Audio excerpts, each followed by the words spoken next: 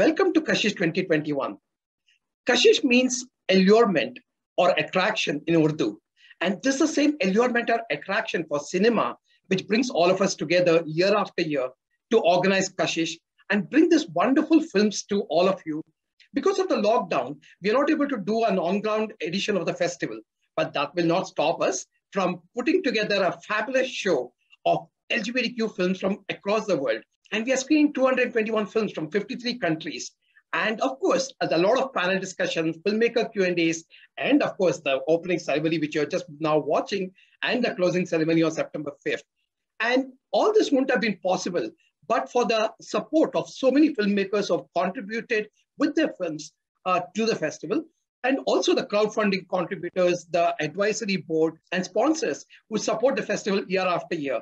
Thanks to each one of them. And it's like a big family where all of us come together to make this festival happen. And we just hope we continue this journey. Basically, Kashish tries to sensitize the larger mainstream society about LGBTQ issues. And that's the purpose and the mission of Kashish.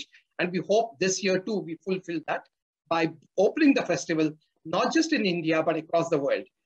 Now also 60% of the registration amount collected will be donated to five organizations working with LGBTQ community and helping them during the pandemic.